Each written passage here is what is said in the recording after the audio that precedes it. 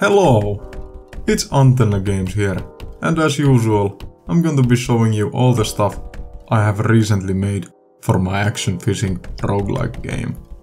Because the game is an action game and fishing games rarely are action packed, I needed this game to force the player not to spend ages fishing. Inspired by this comment by Ovo, I came up with the night system if the player were to stick around a lake for too long, night would come, making the game much more difficult. Already cleared rooms would have their enemies respawn, and additionally there would be immortal ghosts following the player, trying to kill him.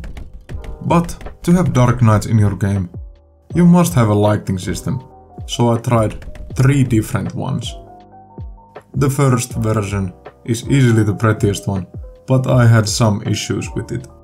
It didn't really match the game's art style. And also a problem that made the decision of ditching this beautiful lightning very easy. It was extremely laggy. Spawning a couple of additional lights would make the game almost freeze.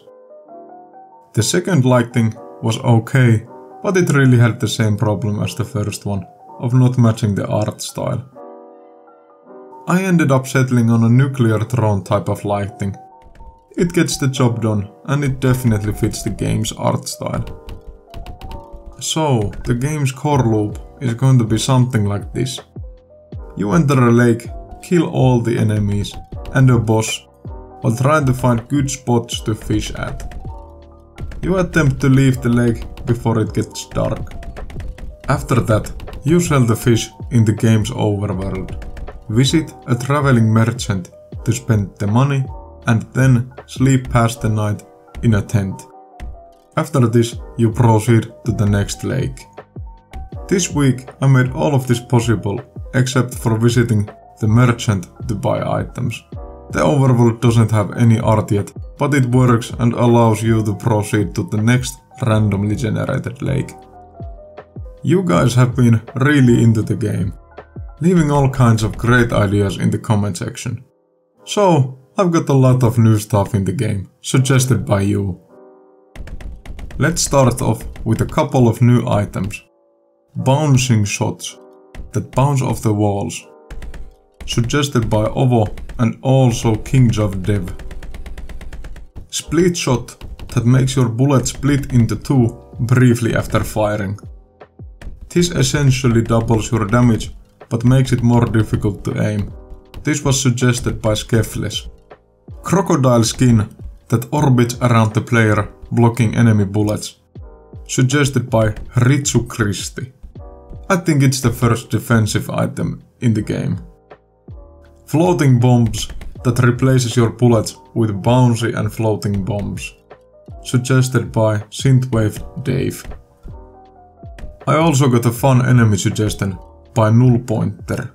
They suggested adding a squid's tentacle to the game that smacks the player if he is not fast enough to dodge. So, it's in the game now. It goes underwater and attacks the player from below if he doesn't move out of the way fast enough. And the final viewer idea I got around to adding this week was the Toad boss. The Toad boss hops towards the player creating waves that damage the player. After the toad has jumped a couple of times, it slams on the water once more, spawning bubbles and three frogs. It then rests for a bit before attacking again. This was suggested by BuffTurtle20. Thank you so much for all the suggestions, and don't worry if your idea didn't make it into the game. There was a lot of great enemies, items and bosses that I didn't have time to do yet, but plan to do them in the future. I didn't make a video the previous week because I was busy setting up something very epic for the game. The game now has an actual name.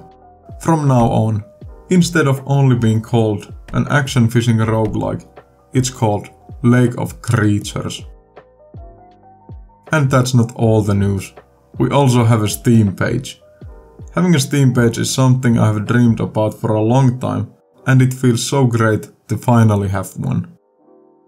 Go check the page out, and while doing so, make sure to wishlist the game. I have heard wishlists are the most valuable thing a game can have prior to its release. So, if you are interested in the game and want to show your support, go wishlist the game. That would mean so much to me. Thank you guys for the support and suggestions. It's been so fun to design the game together with all of you. That's it for the video. I hope you enjoyed it. Make sure to like and subscribe and check out my social media pages, as well as the new Steam page. See you next time.